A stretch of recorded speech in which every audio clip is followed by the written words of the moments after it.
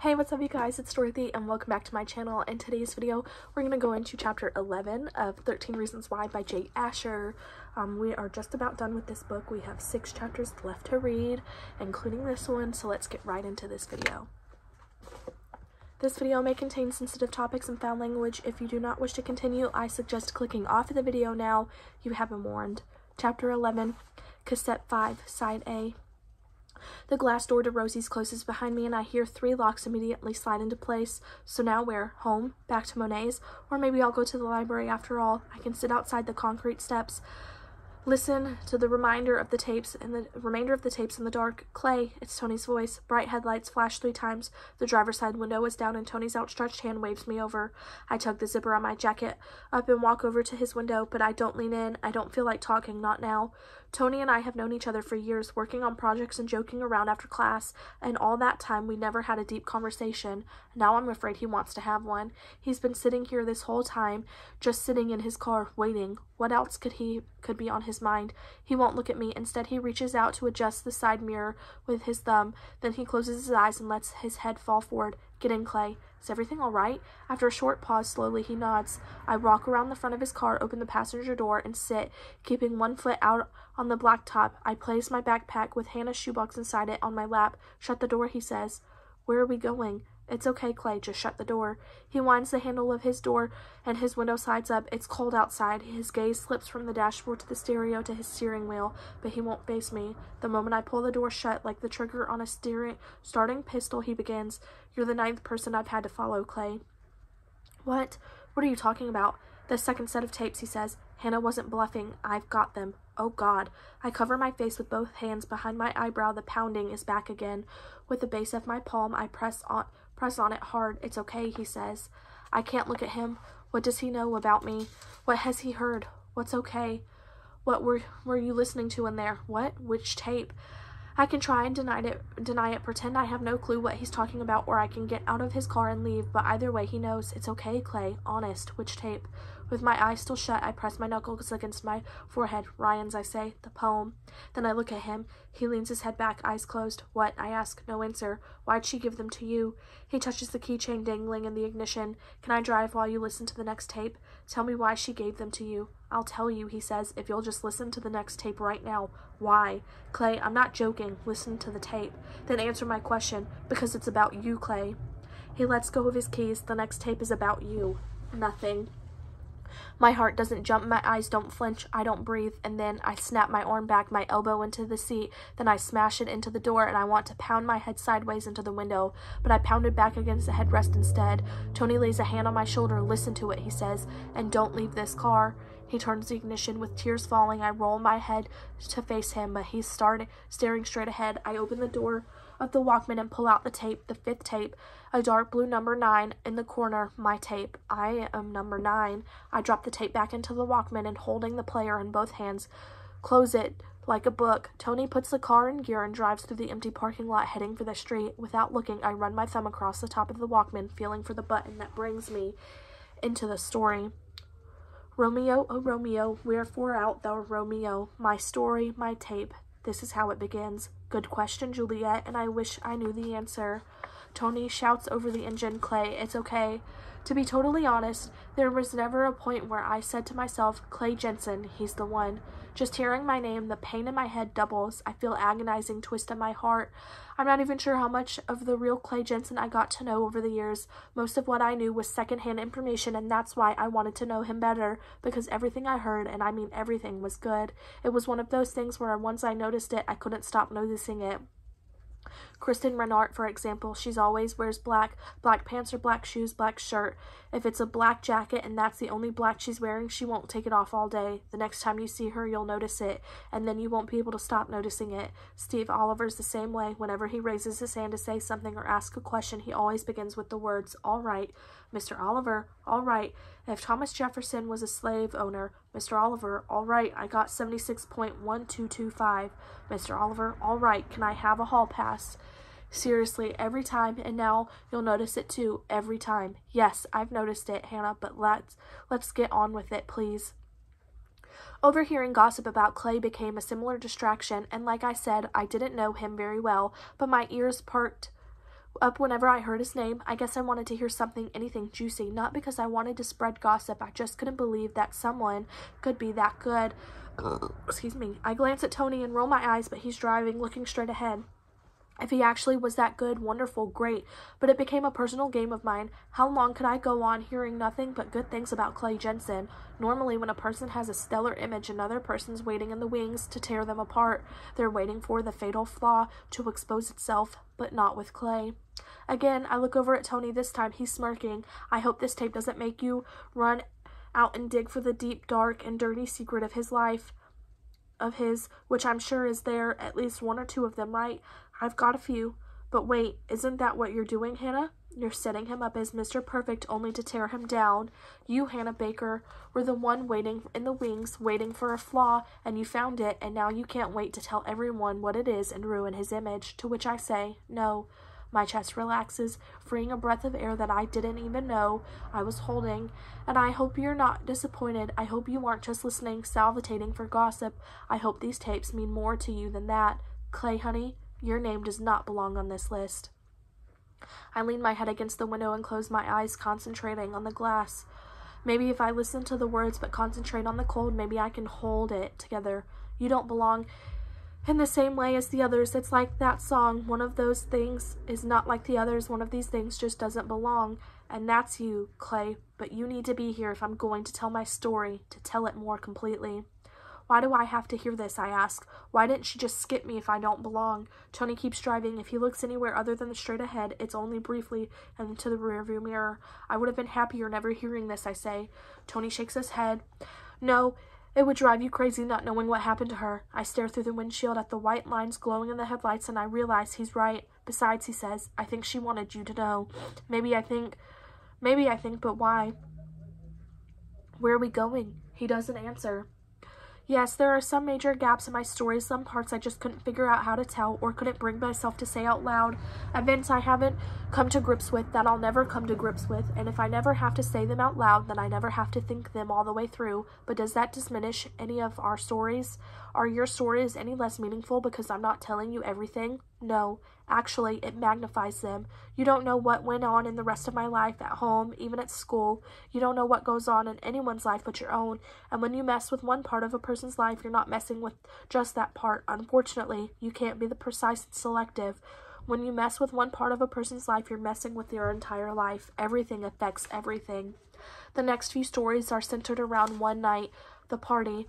They're connected around one night, Clay, and you know what I mean by our night because they're through all the years we've spent going to the same school or working together at the movie theater, there's only one night we when we connected, when we really connected. That night drags many of you into the story as well. One of you for the second time, a random night that none of you can take back. I hated that night. Even before these, these tapes, I hated it. That night, I ran to tell an old woman that her husband was fine, everything was going to be fine, but I was lying because while I was running to comfort his wife, the other driver was dying. The old man, by the time he got to his wife, he knew it. Hopefully, no one will hear these tapes except for those of you on the list, leaving any changes they bring to your lives completely up to you. Of course, if the tapes do get out, you'll have to deal with consequences completely out of your control, so I sincerely hope you're passing them on. I glance at Tony. Would he really do that? Could he? Would he give the tapes to someone not on the list? Who? For some of you, those consequences being may be minimal, maybe shame or embarrassment, but for others it's hard to say. A lost job, jail time? Let's keep this between us, shall we? So, Clay, I wasn't even supposed to be at that party. I was invited, but I wasn't supposed to be there. My grades were slipping pretty fast. My parents asked for progress reports every week from my teachers, and when none of them came back with improvements, I was grounded. For me, grounded meant that I had one hour to get home from school, one hour being me, my only free time until I brought those grades up. We're at a stoplight and still. Tony keeps his eyes straight ahead. Does he want to avoid seeing me cry? Because he doesn't have to worry. I'm not. Not right now. During one of my Clay Jensen gossip moments, I found out that you were going to be at the party. What? Clay Jensen at a party? Unheard of. I study on the weekends and most of my classes were tested. Every Monday, it's not my fault. Not only was that my first thought, that's what the people around me were talking about too. No one could figure out why they never saw you at parties. Of course, they had all sorts of theories, but guess what? That's right, none of them were bad. Give me a break. Excuse me. As you know, since Tyler's not all not tall enough to peep through a second story window, sneaking out of my bedroom wasn't hard to do. And that night I just had to do it. But don't jump to conclusions. I've snuck out of my house before that night only twice. Okay, three times, maybe four tops. For those of you who don't know which party I'm talking about, there's a red star on your map, a big fat red star completely filled in C6 512 Cottonwood. Is that where we're going? Ah, so now you know. Now some of you know exactly where you fit in. But you'll have to wait until your name pops up to hear what I'm going to tell, to hear how much I tell. That night, I decided that walking to the poet, the party would be nice, relaxing. We had a lot of rain that week, and I remember the clouds were still hanging low and thick. The air was warm for that time of night, too, my absolute favorite time of weather. Mine, too. Pure magic. It's funny, walking by the houses on my way to the party, it felt like life had so many possibilities, limitless possibilities, and for the first time in a long time, I felt a hope. So did I. I forced myself out of the house and to that party. I was ready for something new to happen, something exciting. Hope. Well, I guess I misread things a bit. And now, knowing what happened between Hannah and me, would I still have gone even if nothing changed? It was simply the calm before the storm. I would, yes, even if the outcome stayed the same. I wore a black skirt with a matching hood, hooded pullover, and on my way there, I took a three-block detour to my old house, the one I lived in with when we first moved to town. The first red star from the first side of the first tape. The porch light was on, and the in the garage, a car's engine was running, but the garage door was shut. Am I the only one who knows this? Does anyone else know that that's where he lived? The man from the accident, the man whose car killed a student from our school? I stopped walking, and for what seemed like several minutes, just watched from the sidewalk, mesmerized, another family in my house. I had no idea who they were or what they were like, what their lives were like. The garage door began to lift, and in the glow of the red tail lights, the silhouette of a man pushed the heavy door all the way up. He got in the car, backed it down the driveway, and drove off. He didn't stop. Why didn't he ask why I was standing there staring at his house? I don't know. Maybe he thought I was waiting for him to back out of the driveway before continuing on my merry way. But whatever the reason, it felt surreal. Two people, me and him, one house, yet he drove away with no idea of his link to me. The girl on the sidewalk, and for some reason, at that moment, the air felt heavy, filled with loneliness. The lone and that loneliness stayed with me through the rest of the night. Even the best moments of the night were affected by that one incident, by that non-incident. In the in front of my old house, his lack of interest in me was a reminder. Even though I had a history in that house, it didn't matter. You can't go back to how things were, how you thought they were. All you really have is now. Those of us on the tapes, we can't go back either. We can never not find a package on our doorstep or in our mailbox from the moment on we're different, which explains my overreaction, Clay, and that's why you'll get these tapes to explain, to say, I'm sorry. Does she remember? Does she remember that I apologized to her that night? Is that why she's apologizing to me? The party was well underway by the time I got there. Most people, unlike me, didn't have to wait for their parents to fall asleep. The usual crowd hung out by the front door of the party, drunk out of their minds, greeting everyone with a raised cup of beer. I would think Hannah would be a hard name to slur, but those guys did it pretty well. Half of them kept repeating my name, trying to get it right, while the other half laughed. But they were harmless. Fun drunks make a nice addition to any party not looking to fight, not looking to score, just looking to get drunk and laugh. I remember those guys like the mascots of the party. Clay, what you do, what you do done here, bah ha ha. The music was loud and no one was dancing. I could have been any party except for one thing, Clay Jensen. I'm sure you heard a lot of sarcastic remarks when you first arrived, but by the time I got there, to everyone else you were just a part of the party, but unlike everyone else, you were the whole reason I came. With everything going on in my life, going on in my head, I wanted to talk with you, really talk, just once. A chance we never seemed to get at school or at work, a chance to ask, who are you? We didn't get that chance because I was afraid, afraid I had no chance with you. That's what I thought, and I was fine with that because what if I got to know you and it turned out to be just like they said? What if you weren't the person I hoped you were? That more than anything would hurt, have hurt the most as and as I stood in the kitchen in line to fill my cup for the first time, you walked up behind me. Hannah Baker, you said, and I turned toward you. Hannah, Hay. When the first When she first arrived, when she walked through the front door, she caught me off guard, and like a freak, I turned around, ran through the kitchen, and straight out the back. It was too soon, I told myself. I went to the party telling myself that if Hannah Baker showed up, I was going to talk to her. It was time. I didn't care who was there. I was going to keep my eyes focused on her, and we were going to talk. But then she walked in, and I freaked out. I couldn't believe it. Out of the blue, there you were. No, not out of the blue. First, I placed around the black backyard, cursing myself for being such a scared little boy. Then I let myself out through the gate, fully intent on walking home. But on the sidewalk, I beat myself up for some more. Then I walked back in the front door. The drunk people greeted me again, and I went straight for you. It was anything but out of the blue. I don't know why you said, but I think we need to talk. I took all the guts in the world to keep the conversation going, guts and two plastic cups of beer, and I agreed with probably the dumbest smile plastered on my face. No, the most beautiful. And then I noticed the door frame behind you leading into the kitchen. It had a bunch of pen and pencil marks scratched on it, keeping track of how fast the children in the house were growing, and I remembered watching my mom erase those marks on our old kitchen door, getting ready to sell the house to move here.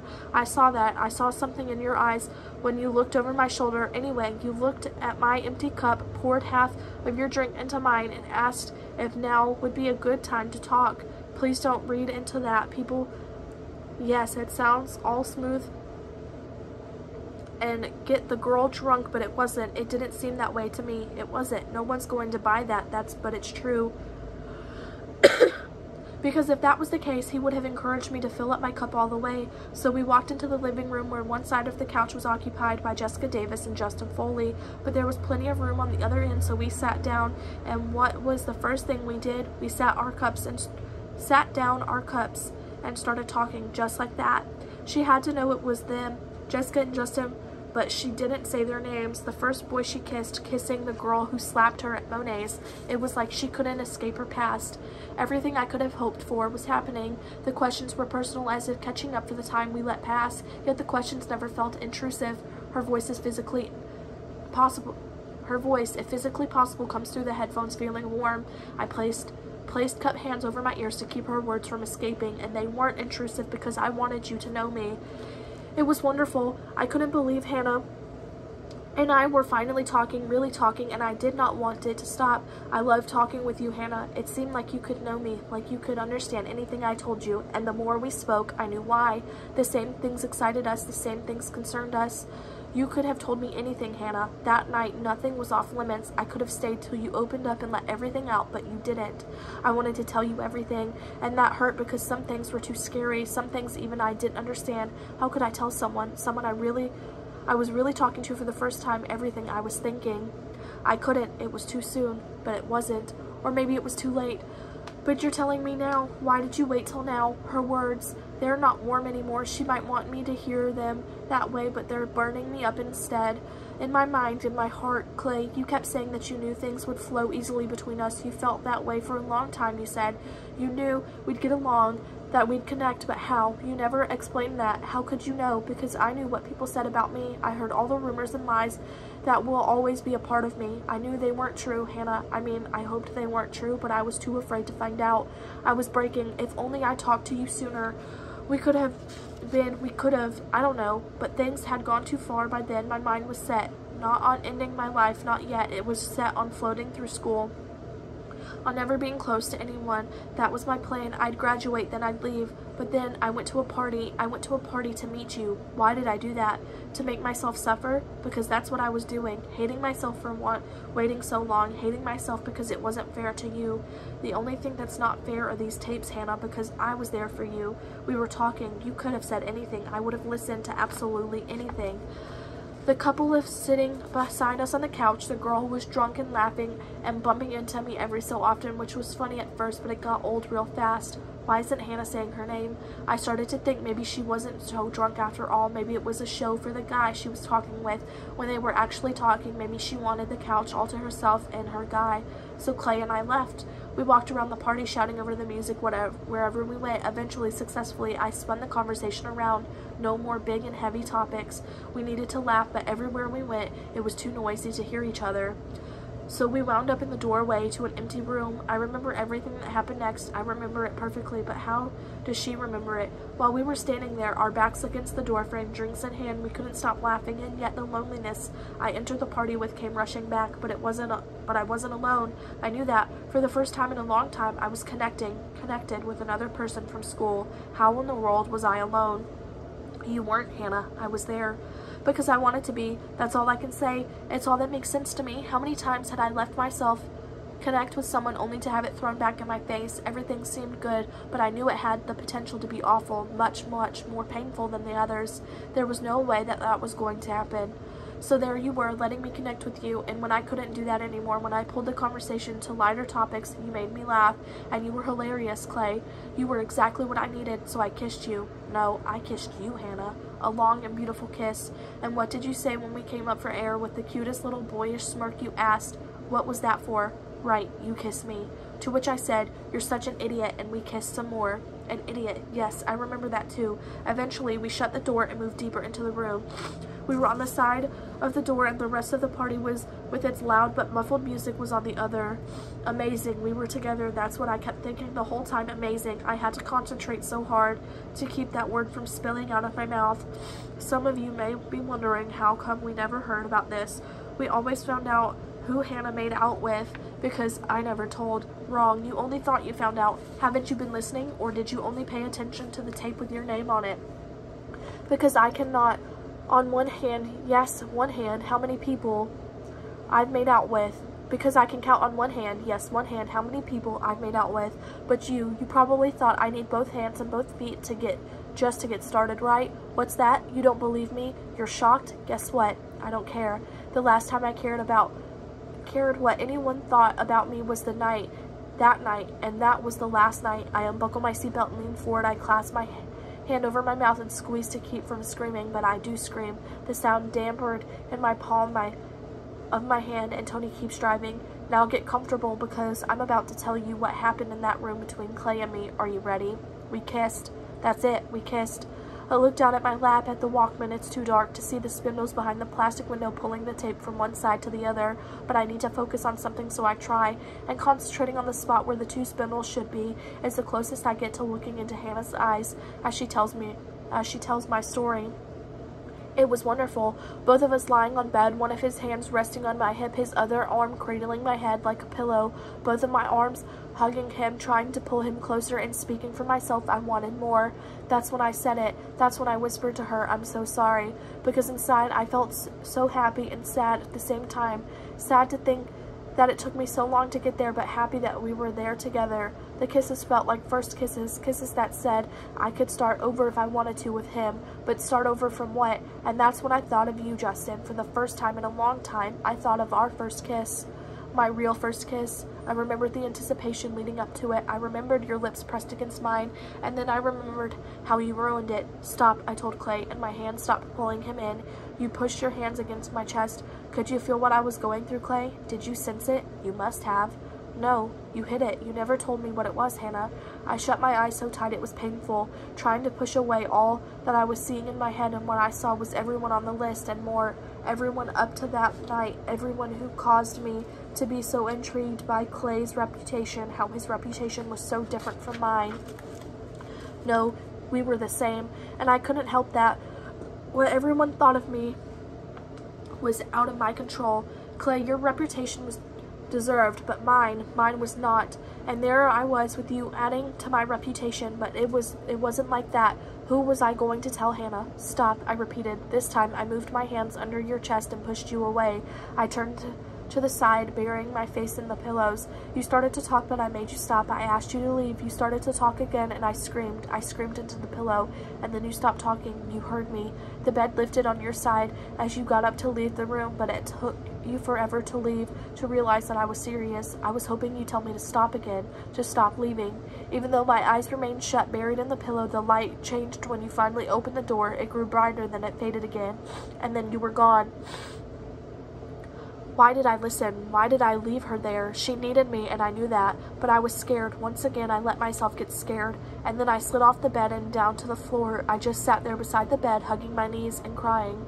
That, Clay, is where your story ends. But it shouldn't have. I was there for you, Hannah. You could have reached out, but you didn't. You chose this. You had a choice and you pushed me away. I would have helped you. I wanted to help you. you left the room and were never and we never spoke again.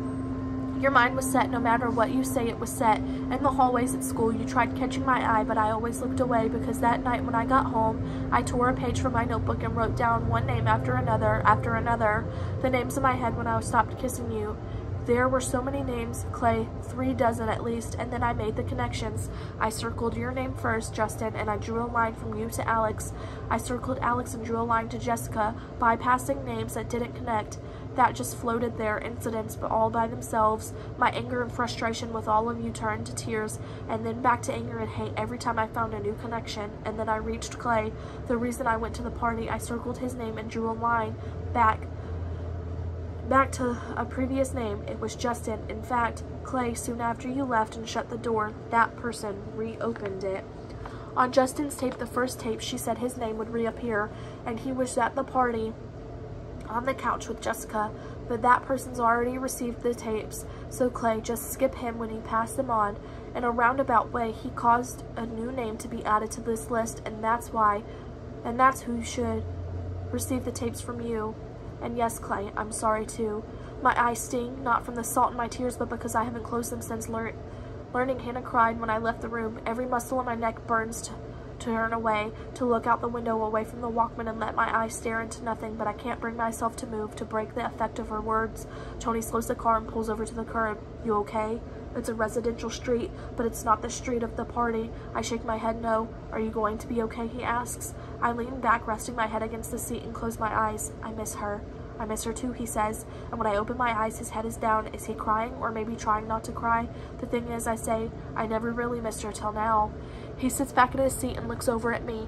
I didn't know what to make of that night. Everything that happened, I liked her for so long, from far away, but I never had a chance to tell her. I look down at the Walkman. We only had one night, and by the end of that night, it seemed like I knew her even less than before, but but now I know. I know where her mind was that night. Now I know what she was going through. My voice breaks, and in that break comes a flood of tears. Tony doesn't respond. He looks out the, into the empty street, allowing me to sit in his car and just miss her. To miss her each time I pull in a breath of air. To miss her with a heart that feels so cold by itself but warm when the thoughts of her flow through me. I wipe the cuff of my jacket under my eyes, then I choke back my tears and laugh. Thanks for listening to all of that, I say. Next time, it's okay to stop me. Tony turns on the blinker, looks over his shoulder, and pulls us back into the street, but he doesn't look at me. You're welcome that is the end of this chapter. I will see you guys in the next video. Bye!